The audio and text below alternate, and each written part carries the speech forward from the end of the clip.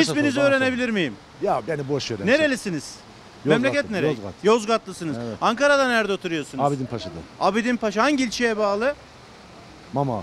Mamak'a bağlı Mamak seçmenisiniz. Evet. Peki Mamak'ta kime oy vereceksiniz? Karar verdiniz ya o mi? benimle Allah'ın arasındaki bir şey hemşerim. Gizletiyorsunuz. Evet. Tabii tercih yapmak Evet. en büyük hakkınız, yapmamak en doğal hakkınız söylemeye de bilirsiniz. Peki Büyükşehir'de ne düşünüyorsunuz? Ben ülkücüyüm hemşerim. Evet. Anladın mı? Tamam. bitti. Bizim liderimiz liderse biz oradayız. Tamam lider nereye oy ver derse Ha, biz oradayız. oraya oy vereceksiniz. Evet. Peki eee, teşekkür ediyoruz röportajımıza katıldığınız için iyi günler dileriz. İyi günler.